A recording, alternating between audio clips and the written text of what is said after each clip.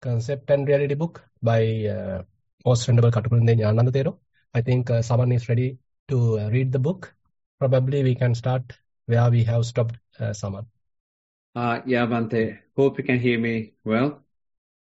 Um, yes, can we you... can hear. Yes. Okay. Yes, yes. Yeah. I'll start from the, uh, let me share my screen first. Okay. Yeah. Okay. Uh, can you see my screen now? Yes, yes. Okay. Uh, so we stopped here. So we'll start with the path to non-proliferation. Um, yeah. Yeah. Path to non-proliferation.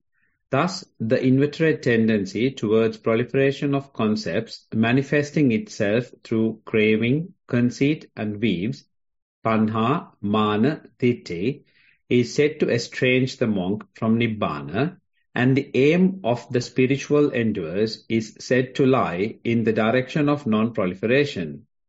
The path to this state of nippapancha is set out in the Sakkapan, Sakkapanya Sutta of Digha Nikaya.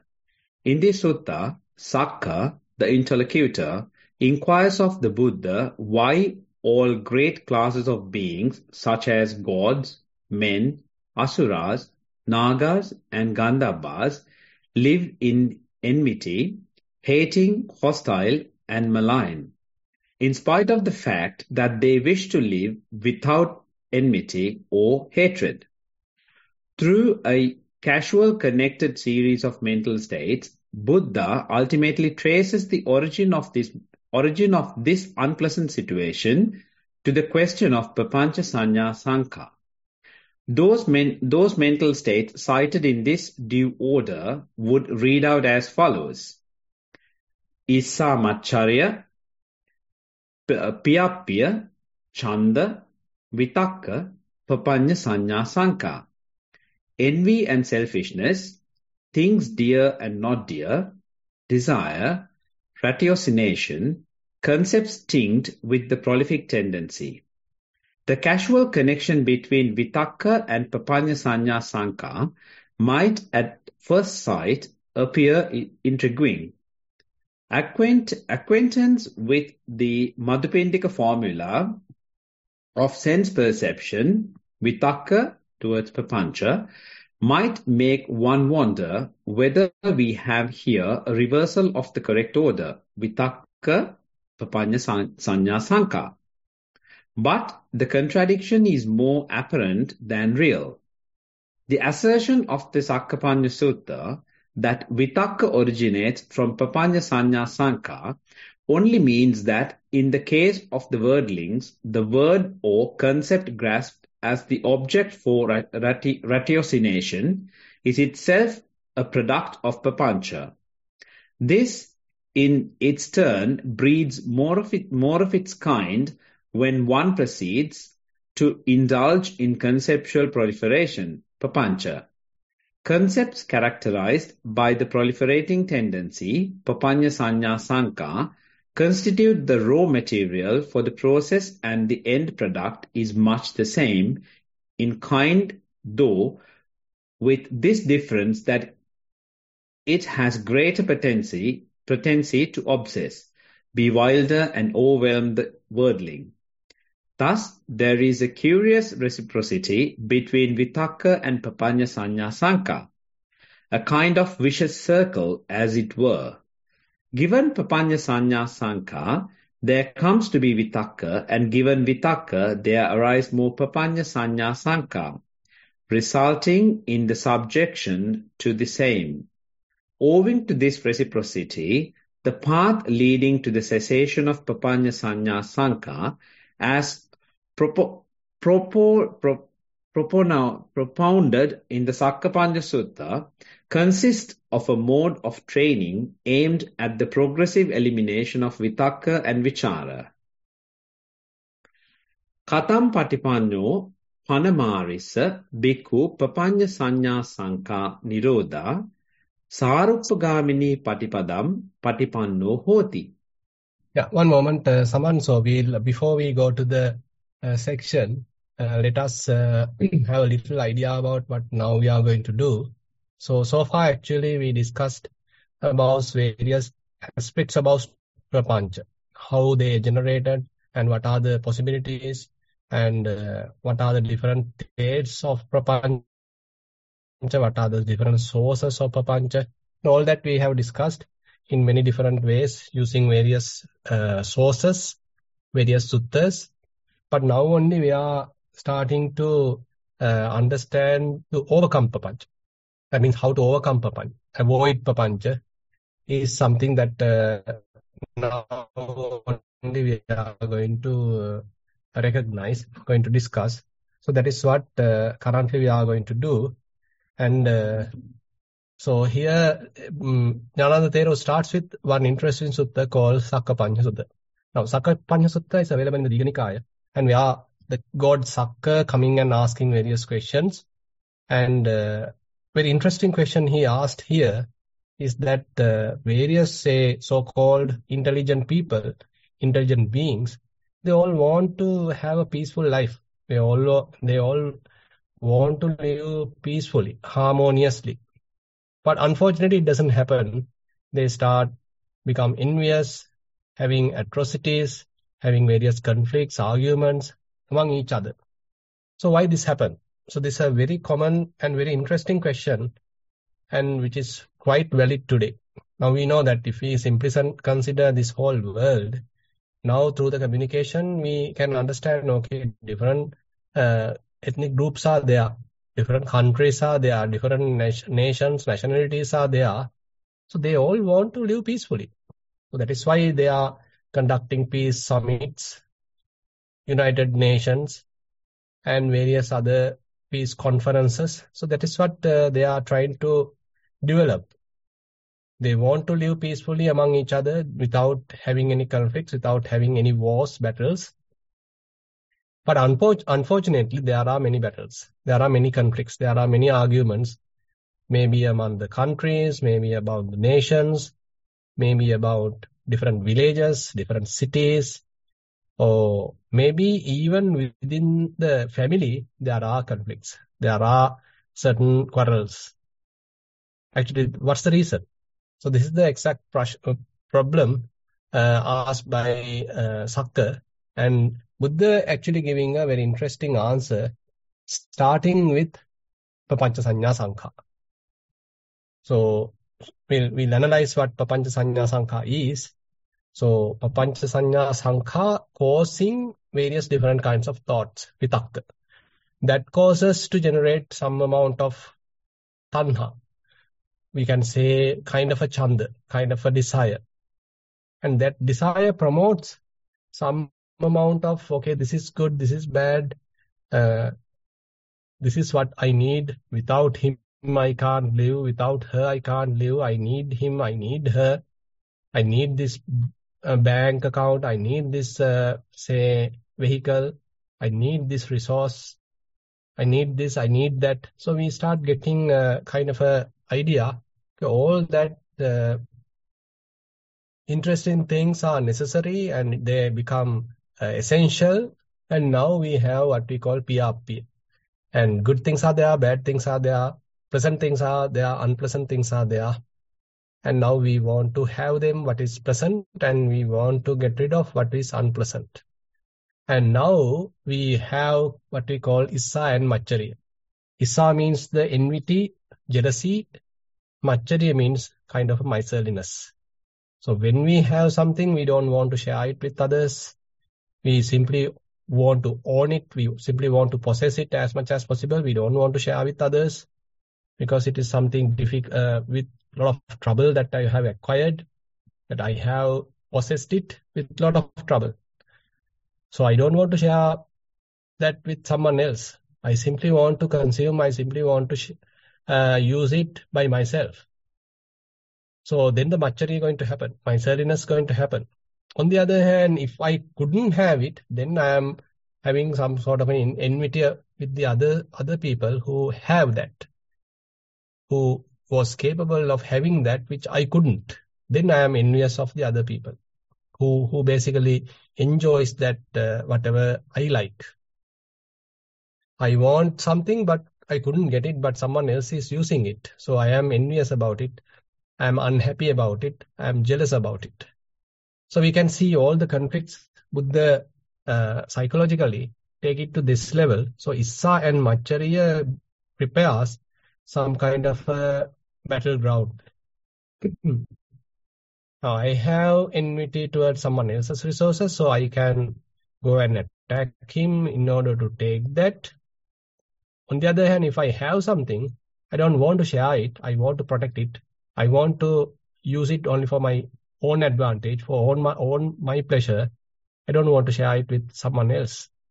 If someone start coming towards that, someone wants to have that, then I am going to argue, I am going to battle, I am going to conflict, I am going to have a kind of a war with the other party. So this is how basically uh, everything has developed. Now here, uh, Katukurunde Thero interestingly point out, so how Uh, papancha Sanya Sankha generates vitakka. Now if we can remember Madhupindika Sutta, there the uh, formula is different actually. Vitakka causes papancha. චක්කුංච පටිච්ච රූපේච උපජ්ජති චක්කු විඤ්ඤාණං තින්නම් සංගති පස්සෝ පස්සපච්චා වේදනා යං වේදේති තං සංජානාති යං සංජානාති තං විතක්කේති යං විතක්කේති තං පපංචේති so that means uh, first we get the vitakka so first we get series of thoughts and that is what ultimately going to develop to the level of conceptual proliferation but now here point is papancha sanya sankha causes to generate vitakka, generate various kinds of thoughts. So how this uh, contradiction going to be sorted out?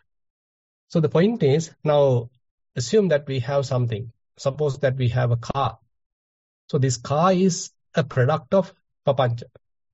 So someone has designed that, someone has uh, sort of thought about it, someone has designed, someone basically probably they he or she may be used various uh, software to develop it. They recognize various models, different different components they have kind of designed. They have uh, have a kind of a 3D model, 2D model, and from different angles they have visualized it, and then they have thought about it. They want to apply a particular shape. They want to apply a particular metal. They want to apply various kinds of colors different designs and they may have various series of uh, meetings in order to design their whatever the product. Now, after going through all that, then they are coming to the manufacturing process. So after going through the manufacturing process also, now they are coming up with the end product. Now this end product is marketed by the marketing group and then only uh, we get to know okay there is a so so-called product available. It is available at this particular place. Okay i want to see it. I want to check it. Now i am going there. So while i am there so all these marketing people are there. They are pouring all their ideas. They are pouring all their appreciations exaggerations onto my mind and i myself see the product and it is capable of producing a lot of thoughts in my mind because the product itself is a uh, product of uh, conceptual proliferation, product of a lot of thinking, product of many meetings, product of a human uh, intervention, and their creativity. So that is the product. So that product generates certain amount of thoughts in my mind. It is capable of generating many thoughts in my mind. So all what we have different kinds of manufactured products are like that. Even if we see a, a bar of soap, so that is also having some kind of a potential to generate some thoughts. Maybe its wrapper is very beautiful, its uh, uh, fragrance is very beautiful, very pleasant, and its shape is very beautiful. The cover may be very beautiful. The cover has sort of information, cover has a beautiful image. So when we see that, so that this, even though it's a simple soap bar, it is capable of generating a lot of thoughts. Probably we might have even saw an advertisement with respect to that product. So that also come into the picture. Without much of our attention, that that uh, influence coming from that uh, advertisement also operative in our mind. So ultimately, our minds are completely conditioned by these advertisements, by our likes and dislikes. So what others have put into this particular product. So all that are come into the picture, all that are effective. Then only I am starting thinking. So after seeing, after touching, smelling, tasting, so then I am start thinking. So the thinking is possible because this papancha sanya sankha. So the papancha sanya sankha here basically means uh, kind of a concepts.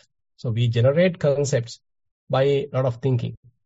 So concepts are the ones that uh, promotes thinking, and we need concepts to think. It's a kind of a uh, interrelationship which is available between the thinking and papancha and papancha sanya sankha and thinking. Papancha and papancha sanya sankha has a slight difference. Papancha is the kind of dynamic process which is the conceptual proliferation available in the mind. That means the conceptualizing is going on. We are into too much thinking. We are into overthinking. So that is the conceptual proliferation, that particular process. On the other hand, the static nature of the papancha is that the, the product, whatever the beautiful thing, whatever the beautiful sight, whatever the beautiful object, whatever the beautiful song, whatever the beautiful smell, taste, tangible, what is available, are actually the products of human thinking, human creativity. So that promotes further thinking. That promotes a lot of uh, conceptualization in our minds. So, so this is the kind of a vicious cycle we are going through. In one sense, we start thinking and thinking leads to a dynamic process of too much thinking, overthinking, and ultimately conceptual proliferation.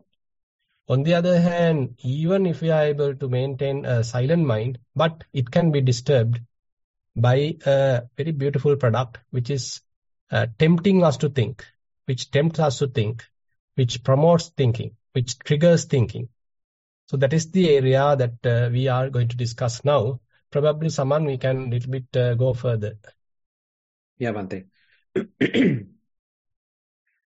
කතම් පටිපන්නෝ පනමාරිස බික්ඛු පපඤ්ඤ සංඥා සංකා නිරෝධා සාරුප්ප ගාමිනී පටිපදම් පටිපන්නෝ හෝති සෝමනස්සම් පහම් දේවානමින්ද දුවිදේන දුවිදේන වදාමි සේවිතබ්බම්පි අවිසේවිතබ්බම්පීති දෝමනස්සම් පහම් it goes on උපේක්ඛම් පහම් අවිසේවිතබ්බම්පීති සෝමනස්සම් පහම් දුවිදේන අවිසේවිතබ්බම්පීති ඉතිකෝ පනේතම් වුත්තම්.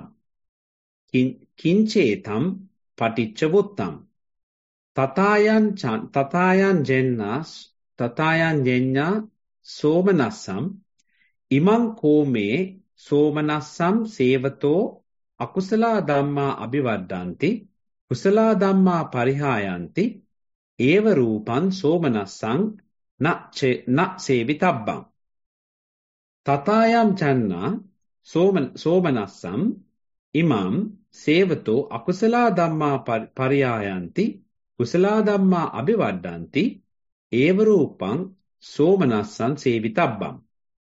තථායන්චේ සවිතක් සවිතක්කම් සවිචාරම් යංචේ අවිතක්කම් අවිචාරම් යේ අවිතක්කේ අවිචාරේ සේ පනීතතරේ දෝමනස්සම් පහම් දුවිදේන යේ අවිතක්කේ අවිචාරේ සේ පනීතතරේ උපේක්ඛම් පහම් දුවිදේන යේ අවිතක්කේ අවිචාරේ සේ පනීතතරේ ඒවම් පටිපන්නෝ කෝ දේවානම් වින්ද බික්ඛු පపంచ සංඥා සංකා නිරෝධා සාරුප්පගාමිනී පටිපදම් පටිපන්නෝ හෝති ති But how sir has that bhikkhu gone about? Who has reached the path suitable for and leading to the cessation of concepts tinged with the proliferating tendency? Happiness ruler of gods I declare to be twofold according as it is to be followed after or avoided. Unhappiness, too, I declare to be twofold. Equanimity, too, I declare to be twofold. And the distinction I have affirmed in happiness was drawn on these grounds.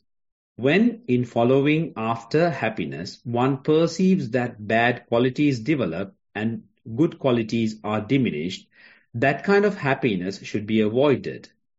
And when following after happiness, one perceives that bad qualities are diminished and good qualities develop, then such happiness should be followed.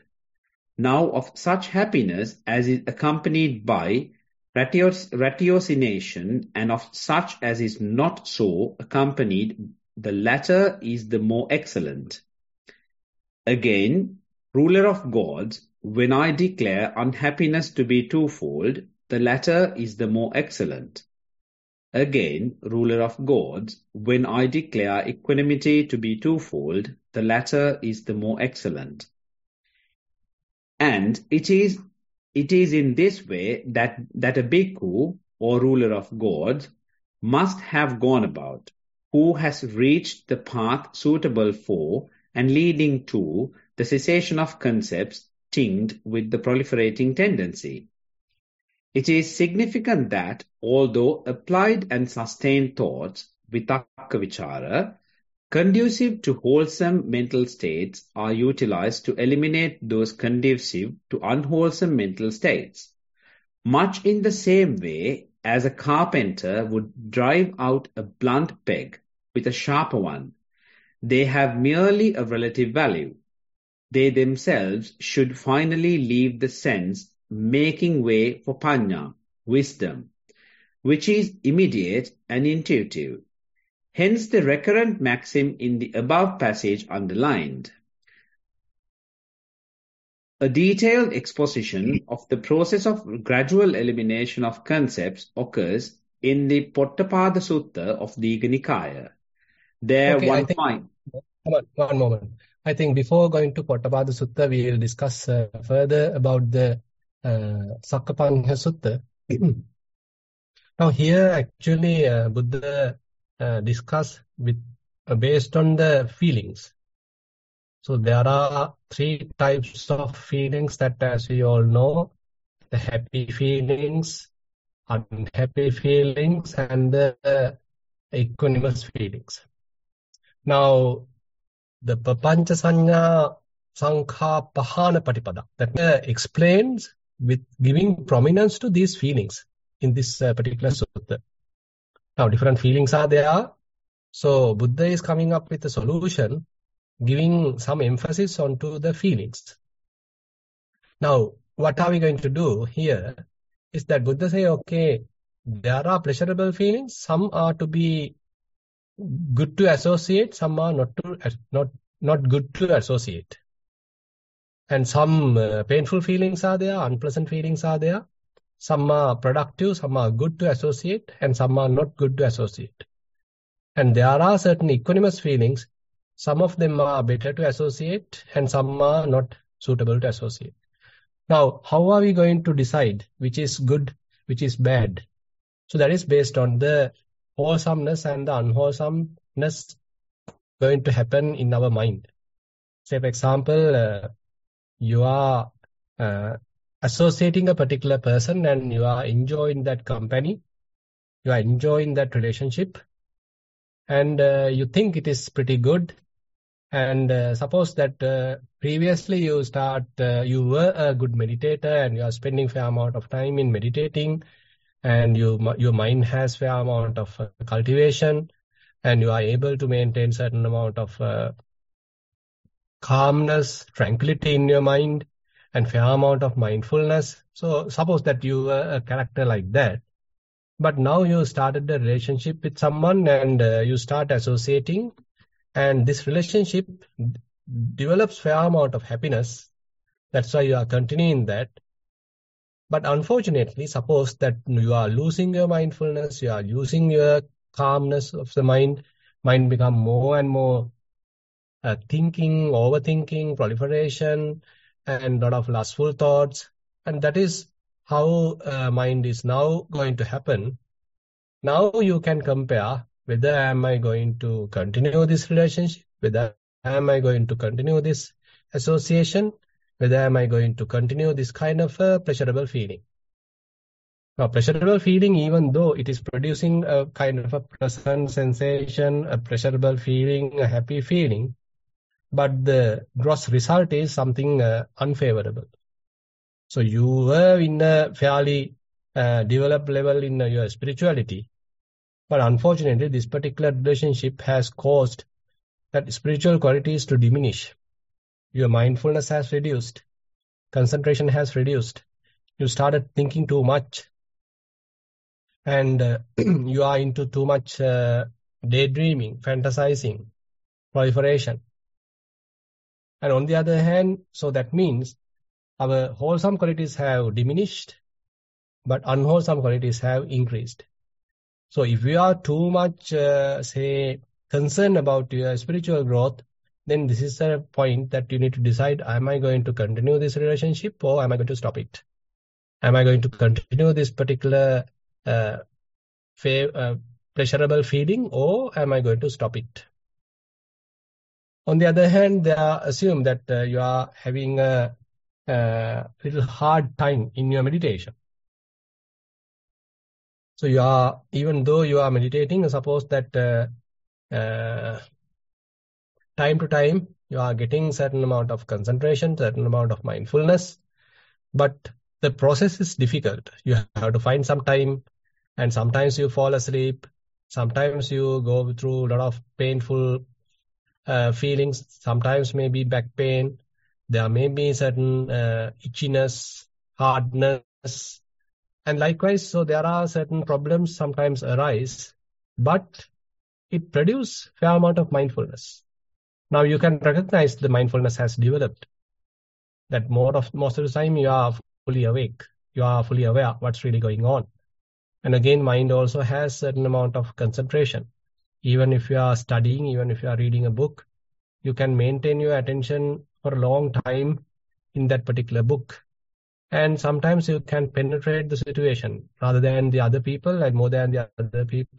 You can see some depth and you can skillfully maintain yourself and you are not going to arguments often and you have a fair amount of patience, perseverance, and you are maintaining that uh, non-reactive kind of a possibility.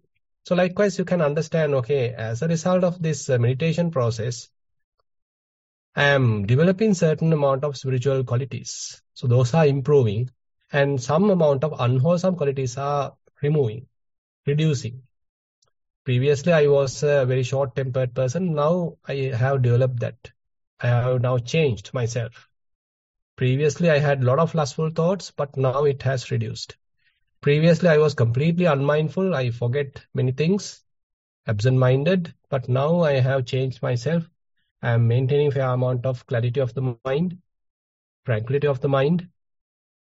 So likewise, you can understand the benefits of the process, but the process itself is a bit difficult. It is a bit difficult because you, while we are meditating, there may be some painful feelings, there may be certain disturbances, mind get distracted sometime, and certain thoughts are coming to the mind. So likewise, it's a kind of a difficult, little painful process, tiresome process. Now, are we going to continue this process or not? Are we going to associate this kind of painful feelings or not? That depends on the benefits. So as I explained now, there are many useful benefits, qualities that we are developing. So we better continue the process. Even though the painful feelings that we are going through, the troublesome times we go through, hard time that sometimes we go through, understood as some unpleasant feelings, but still it generates a lot of uh, wholesome spiritual qualities. By thinking that, I need to continue the practice. And on the other hand, there are equanimous uh, feelings. Suppose that you are developing walking meditation. It's a very simple activity, very ordinary activity. And uh, while during continuing that ordinary activity, I sometimes uh, have some troubles and uh, some difficulties, mind get distracted, but still I'm again and again developing that. As a result of that, the mindfulness has developed, presence of the mind has developed, clarity of the mind has developed, patience of the mind has developed, and the ability to look at the mind has developed, calmness of myself is developed, well-being of the myself is developed. So you can understand the benefits. Now, when you assess this process, even though the particular activity is fairly equanimous, what it generates quality-wise in the sense the feeling-wise, it is a kind of an equanimous feeling, but there are many, many interesting benefits, useful benefits are there. So what am I going to do?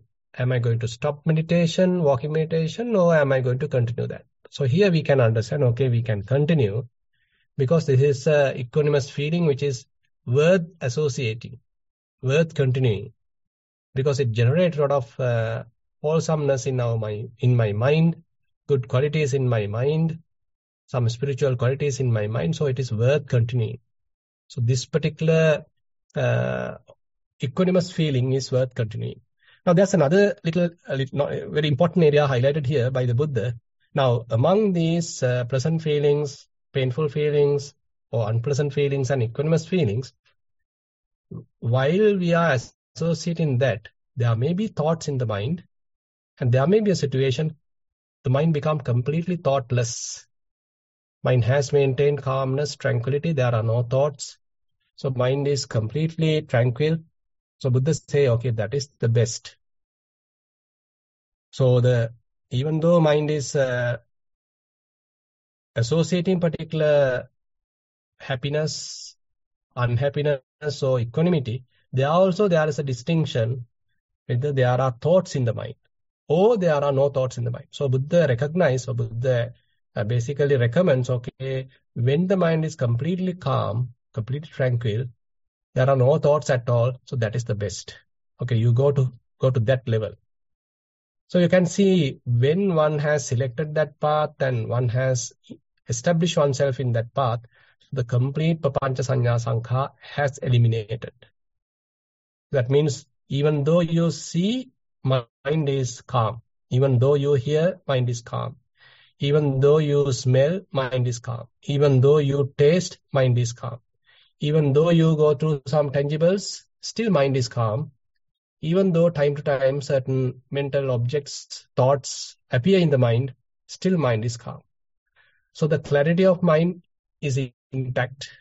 Calmness of of the mind, tranquility of the mind remains steady, even though you go through various sense impingements, various kinds of sense objects, forms, sounds, smells, tastes, tangibles, thoughts, even though they are there, so you are capable of maintaining your clarity of the mind. So that means the proliferation has fairly stopped and you are able to uh, calm down the mind, develop the mind. You have now have a clarity of the mind and the now the mind is completely free from any kind of a proliferation. Now you can see the based on the Sakkapanha Sutta, based on the feelings. So Buddha particularly mentioned, okay, this is a strategy in order to overcome these uh, concepts which promotes thinking. Okay, with that I like to conclude uh, today's discussion. Now discussion in the sense the book discussion, reading, and now I like to uh, uh, open the session for questions. Mr. Bhante, today we have six questions. Uh. First one is uh, Dhamma question, uh, Dhamma sermon question. Dear Bhante, I try to be vigilant on my thoughts when I can establish mindfulness after body awareness. After your sermons on concept and reality, I try to identify prapancha, conceptual proliferations against just mere thoughts. Seems sometimes the boundary between these two categories are not clear. Can you please explain practically how one can differentiate prapancha from just thoughts? Much merits for this program and your service with metta. That is the end of the questions. Yeah, so it's a good question. So basically, uh, when I know there are thoughts in my mind, so we can't say it is a papancha. On the other hand, when I don't know, but I am completely driven by thoughts, completely lost in thinking, that means I am completely in papancha. So that means I can't know that. I am simply being a victim of the whole process. I have become a slave of thinking. I can't stop thinking. And that is the situation where I am in Papancha. So at the Papancha level, so I am, I am become help, helpless and I have no control at all. So mind keep on thinking. I can't stop it. So that's the distinction. Yeah. Uh, second question out of six. Uh, dear Venerable Sir, is Sakkaya Ditthi and Managata linked to each other but different phenomena or the same thing? With Metta, that is the end of the question. Uh, I think uh, they are quite different uh, because Sakkaya Ditthi is where you uh, hold something, grasp something, and generate a personality. Uh, it doesn't necessarily mean some kind of a comparison. But comparison actually can promote Ditthi.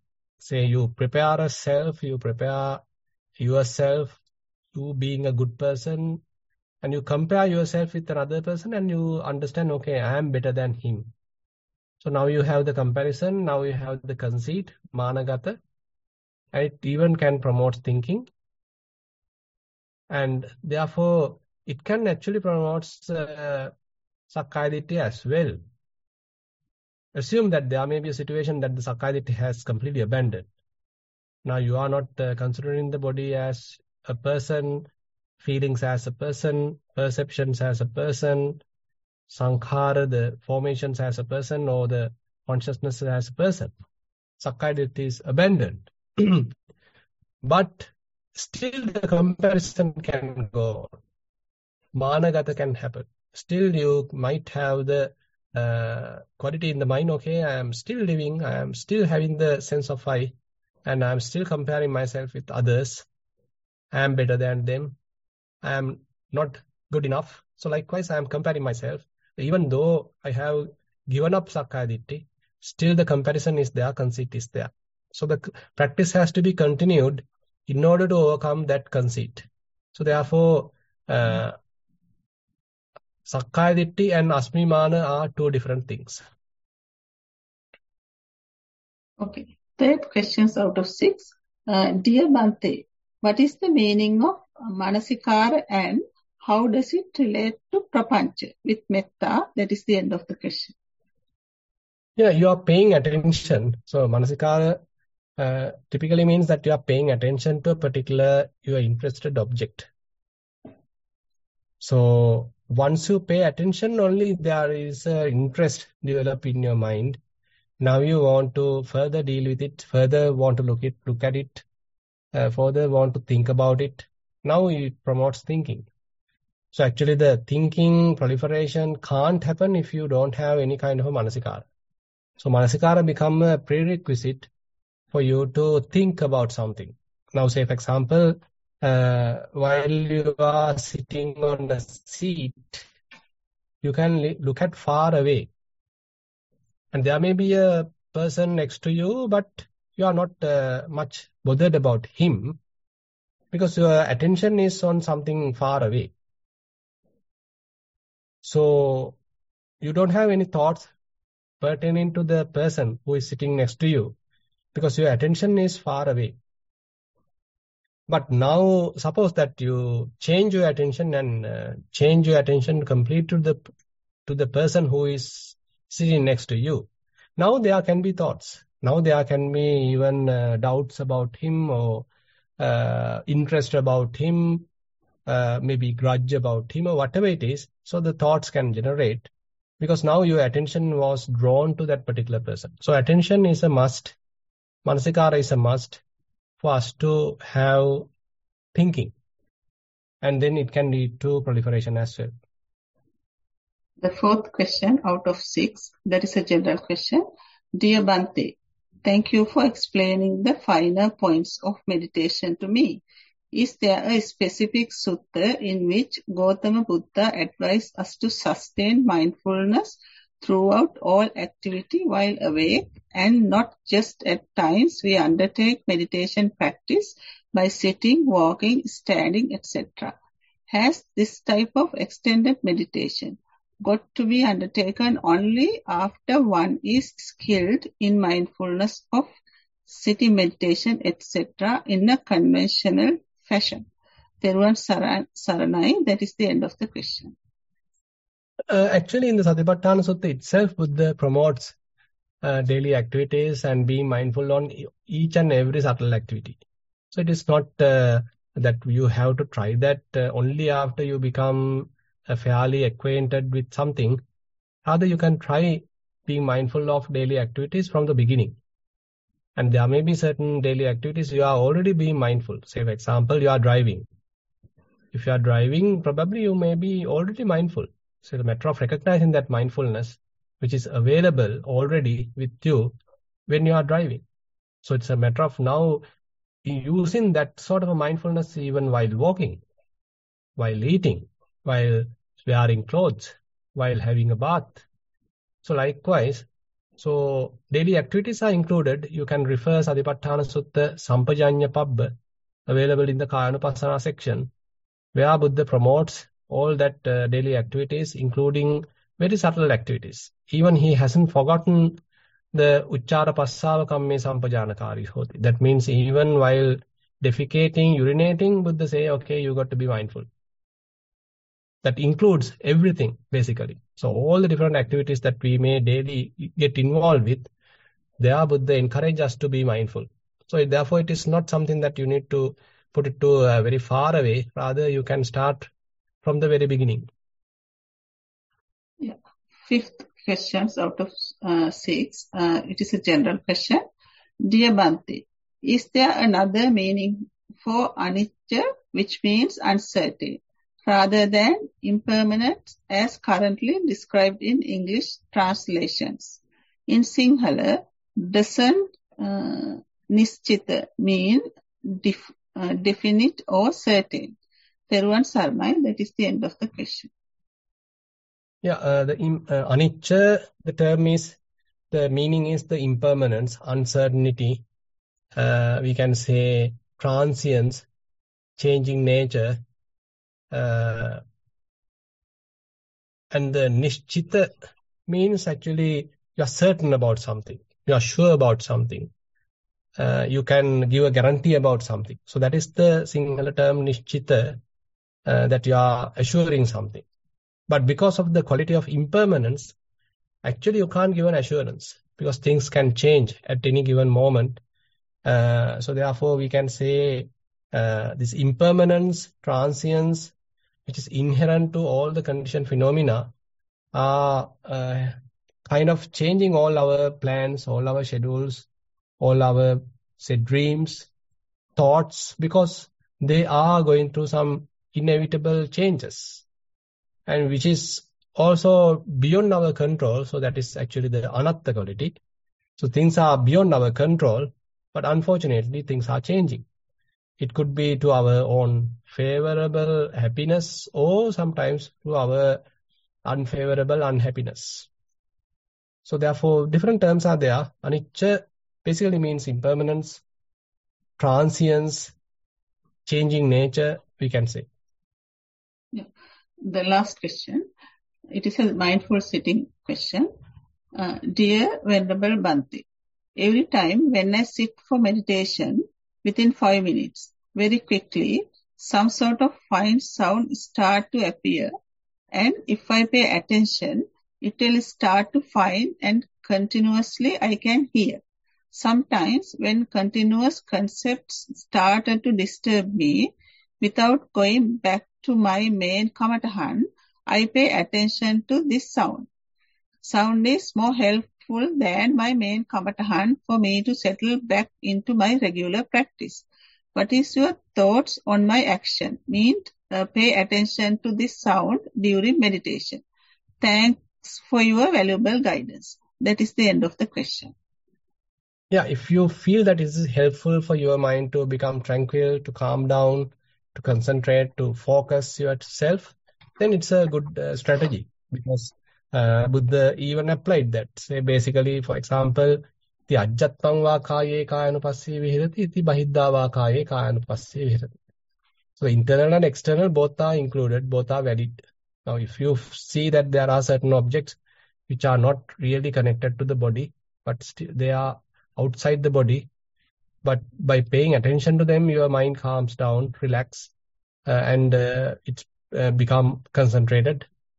Then that means it's a good strategy for you to use because the mind has a tendency uh, to become quiet or become concentrated using that particular object.